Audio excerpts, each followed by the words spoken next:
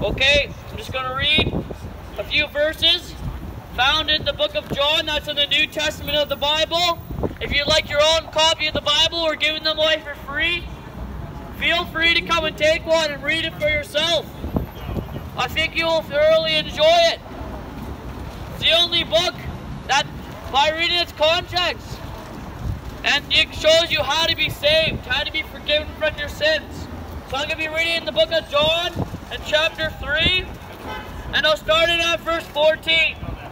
And as Moses lifted up the serpent in the wilderness, even so must the Son of Man be lifted up, that whosoever believeth in him should not perish, but have everlasting life. Now go down to verse 17.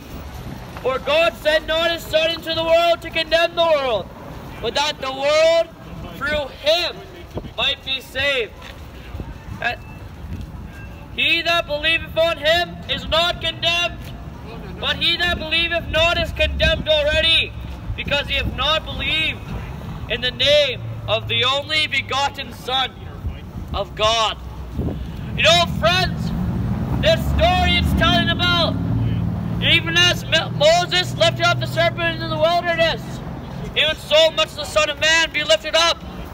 That's a reference back to the Old Testament. And it tells a story about the children of Israel.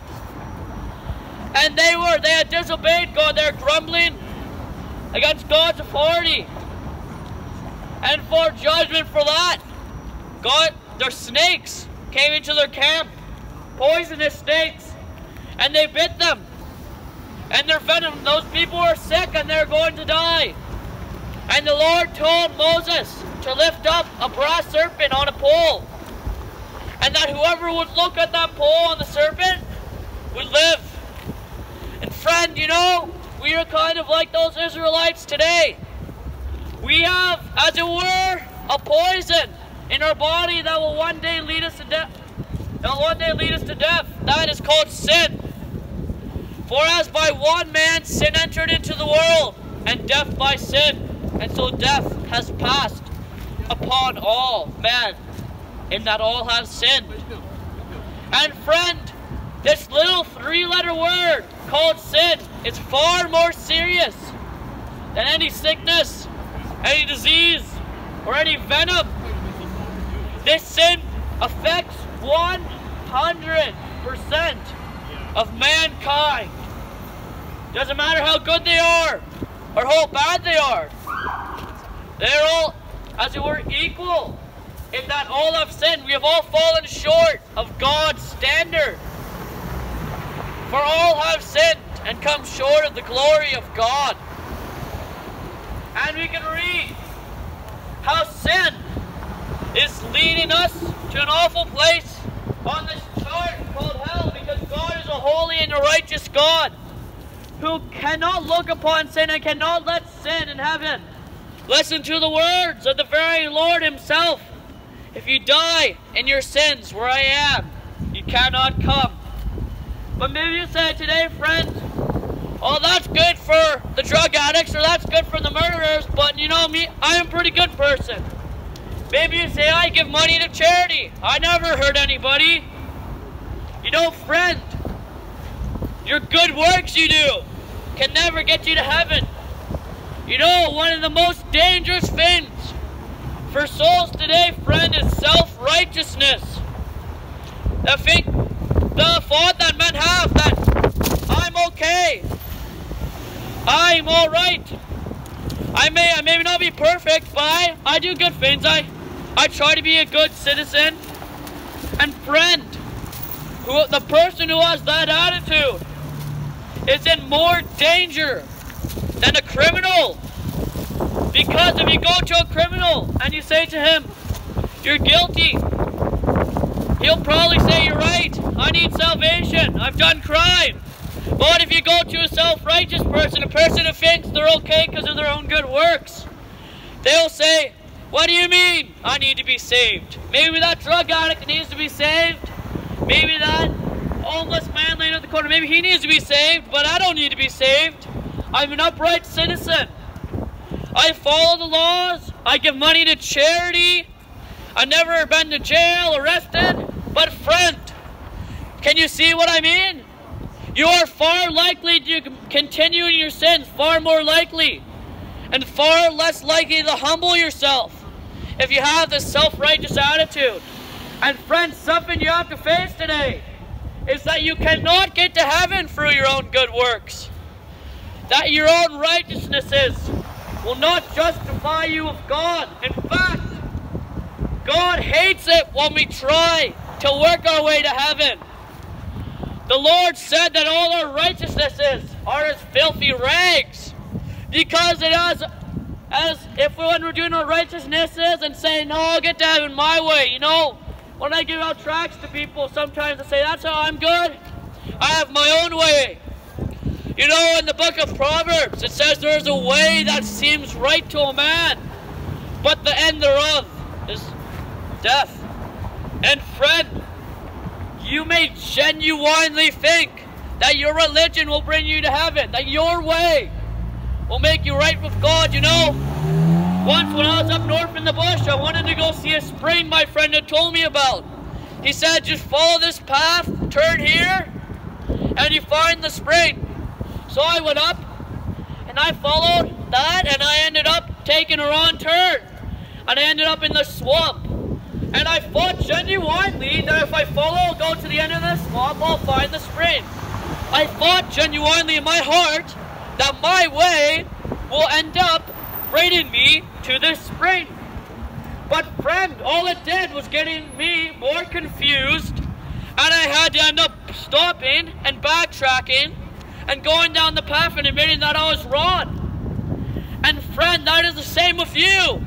You may genuinely think that your religion, I don't know, care what religion it is, that your good works, that you're being upright, will get you to heaven.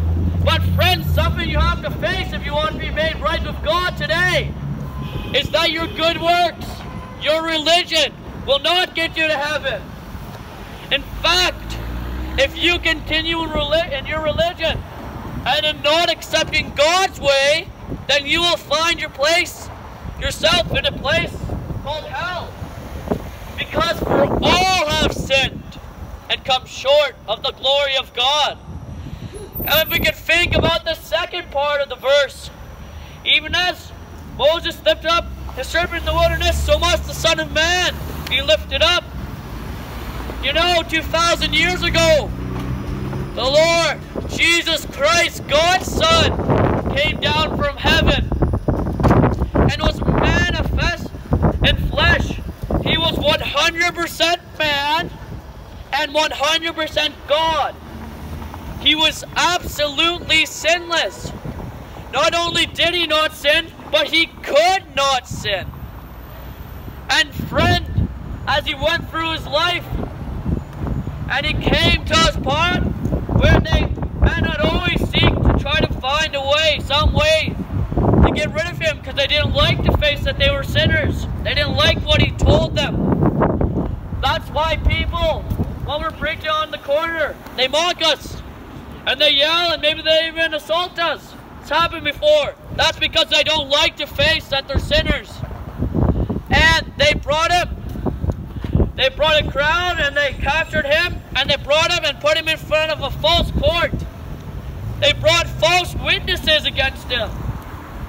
And even though those witnesses, all their all their stories were different, they still they brought him before a Roman judge called Pilate. And this man named Pilate, he knew the Lord was innocent. But he under his under pressure. He was at work collapsed, and he said to the people, What will you do have me do of Jesus? And they cried, Crucify him! We will not have this man to reign over us. And friend, if your heart today, if you reject the gospel, you are just like these, these people who said, Crucify him. We will not have this man to reign over us. And they brought him up that Roman hill and they stuck and they nailed his hands and his feet. And he hung there on the cross between his own heaven and his own earth. And he suffered and he bled And he died not for his own sins. Because if he had his own sins, he could not suffer for other men's sins. I couldn't suffer for your sin today, friend.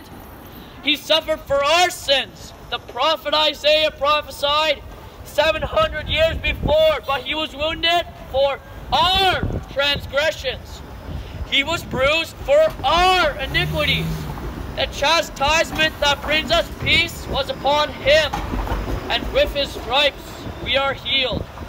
And friend, that's why all you have to do today is try, humble yourself before God. All your repentance, it's really agreeing with God you, of you as a sinner, humbling yourself, admitting before God that you are a sinner and that you cannot get to heaven in your condition, and trust His Son that His death on the cross was sufficient for you. And friend, if you do that, then you will be saved. But if you do not, this Bible says you are condemned already. So, friend, I urge you today to trust Him. There's a hymn. It says, Life at best is very brief, like the binding of a sheaf. Be in time. And friend, I plead you today, do not put it off another day. You have no idea when death could strike. It could strike today, friend. Men, the Bible says, boast thyself not of tomorrow.